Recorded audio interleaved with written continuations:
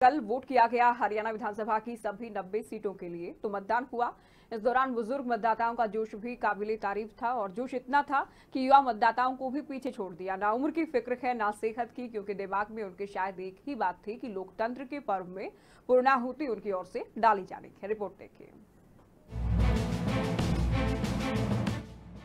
हरियाणा में विधानसभा चुनाव के लिए मतदान के दौरान कई रंग दिखे और ये रंग तब और भी ज़्यादा खिलकर सामने आए जब लोकतंत्र के महापर्व में पूर्णाहुति डालने बुज़ुर्ग वोटर पहुँचे, जिनका उत्साह देखकर हर कोई हैरान था।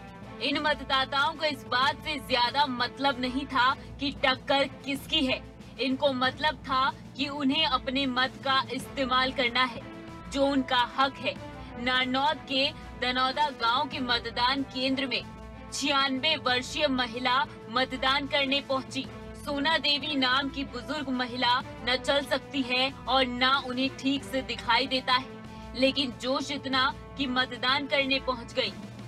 माँ इनका नाम सोनापति है और उनकी उम्र छियानवे साल है लेकिन इनकी जिद थी वे वोट में अधिकार है वोट में पक्का गेड़ के आऊँगा इनको दिखाई भी कम दे रहे हैं, चला भी नहीं जानदार सुनवाई भी नहीं दे रहा लेकिन फिर भी वोट कर आई है ये।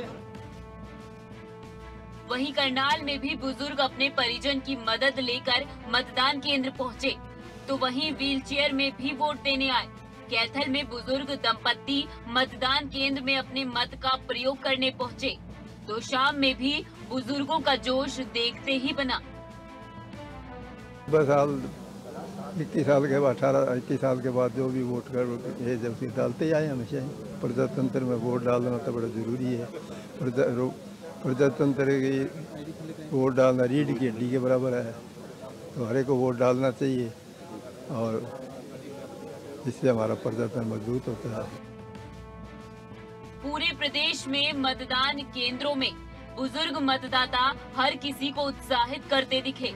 उनको देख युवा मतदाताओं में भी जोश भर गया। अब नतीजे चाहे किसी के भी पक्ष में आए। लेकिन लोकतंत्र के इस महापर्व पर दिखा ये रंग भी हर किसी के दिल को छू गया। स्पेशल डेस्क, खबरें अभी तक।